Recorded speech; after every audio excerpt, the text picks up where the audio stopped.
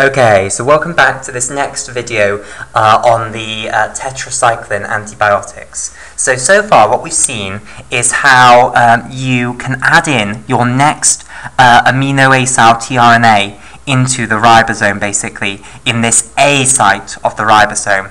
What will now happen is that the enzyme peptidyl transferase will transfer the amino acid on uh, in this P site onto the amino acid in the A site. So this is the enzyme peptidyl transferase.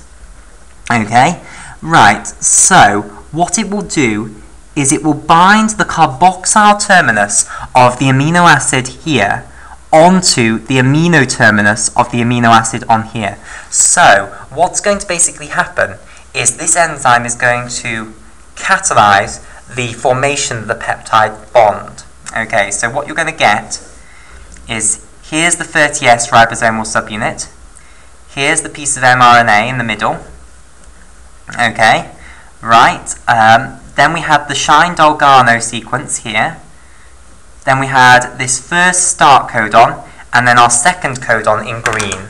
So this is our first start codon, the AUG, and then after that, straight after that, we had our uh, second codon in green.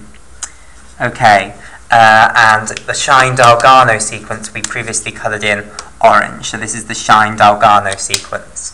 Right, then uh, below us we have the 50S ribosomal subunit, and uh, this here is the P site here. So this is the P site, like so, where um, an amino acyl tRNA was bound, but now it's lost its amino acid group, so it's just a tRNA now, and that was the P site, sorry, not the A site. And next door to it, we have this A site, where an amino acyl tRNA is bound, but now it's not just an amino acyl tRNA, it's got this amino acid from the first tRNA, basically. It's got this methionine, uh, well, this formyl methionine, basically. So if I colour in this amino acid here yellow, then basically that one has now been added on to the amino acid here. Okay, and the enzyme which catalyzes that transfer is this peptidyl transferase enzyme down here. Okay, now in the case of this first transformation, this first uh, transfer, transfer of the amino acid from this one to this one, there was only one amino acid attached um, to uh, this uh, tRNA which was in this position. But as the peptide grows, what we're going to now see is uh, we're going to shift the ribosome over a bit. So um, this amino acyl tRNA with these two amino acids now, this dipeptide attached to it, it's going to be moved into the P site basically. And then what's going to happen is this process is going to go round again. So another, once this one has gone into the P site and this one's gone into the E site and then vacates basically, this one will now be in the P site and another amino acyl tRNA will come into the A site. Peptidyl transferase will transfer not just one amino acid this time, but it will transfer the whole dipeptide. Or if we're continuing this process on and on, it will be a polypeptide. So, let's see this process of ribosomal movement. So what now happens is that uh, the uh, elongation factor G is important next. So another elongation factor by the name of elongation factor G comes along. So this is elongation factor G. And basically elongation factor G is bound to GTP. Okay?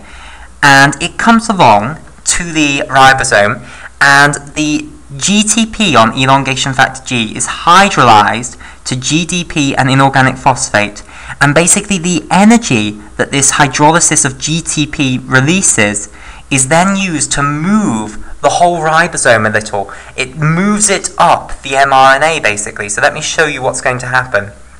So if this is the um, 30S subunit here, then uh, the whole ribosomal subunit is going to move like that basically. So uh, the mRNA is going to move like this. In fact, I shouldn't draw it like that. I need it sticking out like this. We'll turn that into the Shine-Dalgarno sequence there, so no harm done. Okay, there's the mRNA going off down there. Now, what's going to happen, basically, is that this start codon is going to go into uh, the E site here. So let's say this is the E site. The next codon will go into the P site, and the third codon will come along now, and that will be in the A site. So let me show this. Here is our um, tRNA, which is bound to the start codon in pink. So here's the start codon now, and it's now in what's known as the E site. So let me show this with this blue pen. So this site here that this tRNA is in is the um, E site for the exit site, okay? Um, and these other two uh, codons here are now in the A and the P site. So this one is in the A site, and this one is in the P site. Okay, right. So our second codon of our mRNA has now moved from being in the A site previously to being in the P site, and some new codon has come along which is now in this, and I'm trying to find a colour which I can colour it in, I'll colour it in yellow, which is now in this A site basically. Okay, so uh, the um, uh, tRNA that's now got this dipeptide on is here basically, now in the P site, so it's moved forward. And the A site is now vacant, okay, and the peptidyl transferase enzyme is still here. And this portion up here is the Shine-Dalgarno sequence. Right, so basically the um, ribosome moves along the mRNA. Okay, and now what will happen is this tRNA here, which is in, excuse me, which is in the E site of the uh, ribosome, that will leave basically. So this is going to come out, it's going to exit, and the process will happen again. So basically another amino acyl tRNA with this elongation factor TU and GTP bound to it will come into the A site and it will be a tRNA which is complementary to that third codon what will then happen is the peptidyl transferase enzyme will uh, move this dipeptide here onto that third amino acid, and you'll now have a tripeptide off of this tRNA. Then the movement process will happen again, so the ribosome will shift along one, this tRNA will go into the E site, this tRNA with the tripeptide on will go into the P site, etc. And the process continues on basically. Now, I just need to discuss how you regenerate this uh, elongation factor G. So, um, we've take every time you move the ribosome, the elongation factor G uh, goes from having GTP bound to it to having GDP bound to it. And the energy released by that hydrolysis, it moves the ribosome along the mRNA.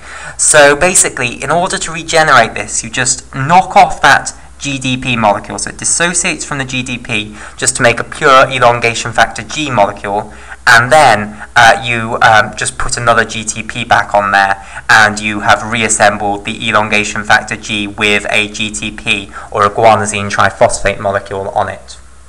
Okay, so that's the mechanism by which uh, you get translation of uh, the mRNA it by a bacterial ribosome. And as you can see, we're gradually going to build up this polypeptide until you finally get to a codon in this mRNA, which is the stop codon, and that will basically sit in this A site and it will have absolutely no um, tRNA which has a complementary anticodon to it. So you'll just halt basically, you'll sit there waiting and then finally what will happen is that water will come in uh, and hydrolyze this um, this uh, polypeptide off from the, um, the, the tRNA which is now in the P site and the whole polypeptide will go off basically and you'll have this sequence of amino acids all joined together.